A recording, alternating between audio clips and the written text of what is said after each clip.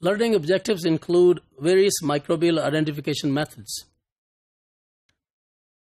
Microorganisms could be identified by various methods that include differential staining, morphology, motility, biochemical testing, serological testing, and nucleic acid based testing. In differential staining, as we saw, um, various stains are employed.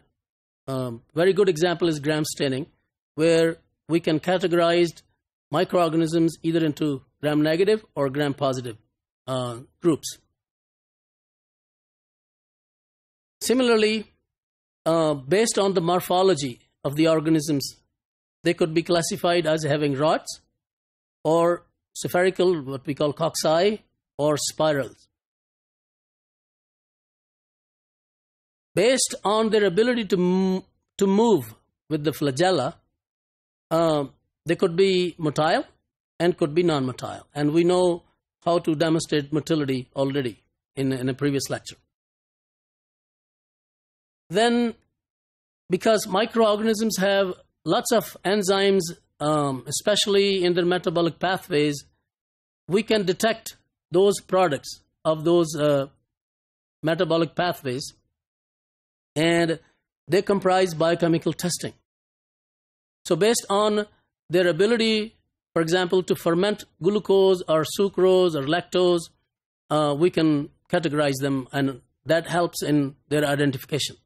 This is just an example of a gram negative, oxidase negative rods. Such algorithms are available for uh, identifications of microbes.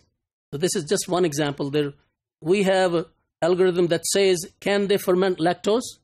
If the answer is no, then we would further go and say, can they use citric acid as their sole carbon source? And if the answer is no, then we would say that this is Shigella that produces lysine and uh, decarboxylase. So these are the two enzymes and, their abilities to do or to utilize various substrates and by which we can identify the species. Similarly, the, we just would follow the algorithm. So these various algorithms are available. You don't have to cram for them. You don't have to really memorize them. But these are available in the books. So just follow them. This is uh, various companies actually uh, these days market various uh, identification systems. This is uh, the facilities basically the companies provide is that they put all or various components of biochemical testing substrates or media into a single tube.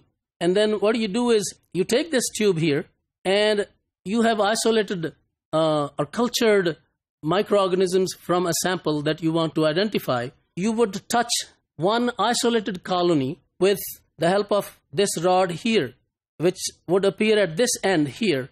And you would just touch it, and then you would drag that rod through all these different compartments. So, as you can see, that these have various colors, and change in the color basically is an indication that the organism is able to change that, utilize that substrate, whatever is available in these various compartments.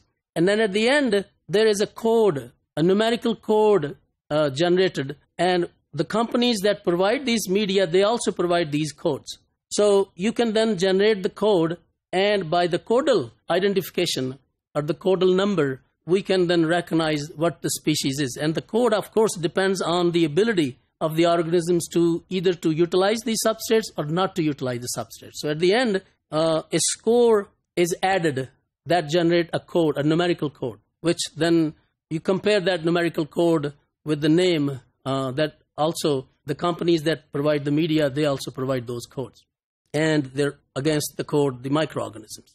This is another um, slightly larger view of like here you see this organism is is fermenting uh, utilizing citrate also producing urea and also is able to uh, utilize phenylalanine as a substrate. So all these numbers are added to generate a code that has 4 plus 2 plus 1 creates 7 codes here so this code it reads like 21007 and then the company also provides a chart where there are codes available and then the organisms name of the organisms and their abilities to ferment or not to ferment. So as you can see, 21007, it matches with Proteus mirabilis. So that is how we know that the organism is this.